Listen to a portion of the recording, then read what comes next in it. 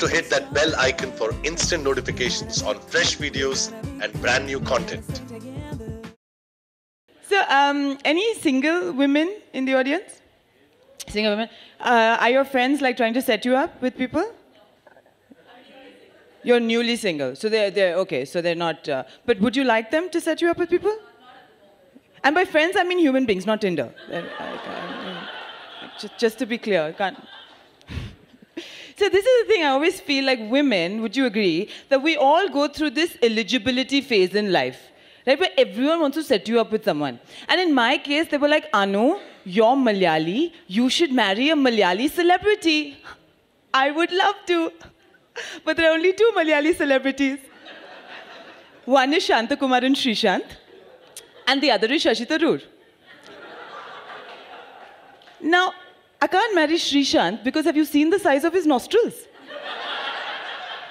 Like Harbhajan Singh fits in there after slapping him. And I can't marry Shashi Tharoor, obviously, you know, because I want to live.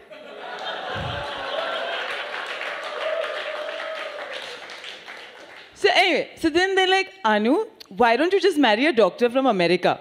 It's that whole, na, if Madhuri Dixit can do it, so can you. That kind of thing. But I never wanted to live in America because living with that accent 24-7 would drive me stark raving loony. Like Americans are way too happy for my liking.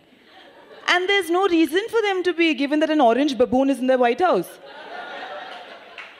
Like, I much prefer the British because, like their weather, they're grey and miserable and complain about everything.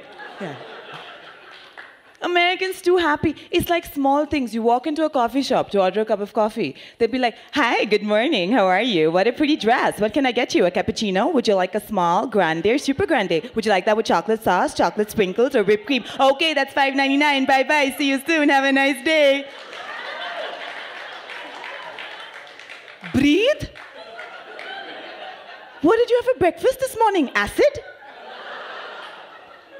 So if I lived there, my kids would start speaking like that, right? And I would just kill them. Which isn't nice because you should never kill your children. Because then who will teach you how to use the iPhone 25s when it comes out? Forward planning is important. But my biggest pet peeve about NRI kids is that they can never seem to pronounce their own names. Have you noticed this? They'll always be like, Hi, I'm Mira. Sorry, what? Hi, I'm Mira.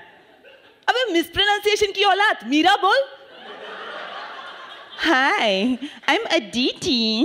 Aditi. There's a guy who came up to me once and was like, Hi, I'm Ramesh Ranganathan. Listen, Ranganathan, you're Sri Lankan Tamil, calm down. Hi, I'm Kal Penn. Abhi chup, Kalpen. But worse is that boy from Slumdog Millionaire, no? Dev Patel. Hi, I'm Dev. Dev? Seriously? You are a Patel.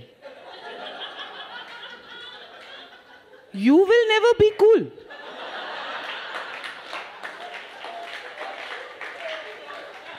Like, who are your namesakes? Hardik Patel, Parthiv Patel, and Upen Patel?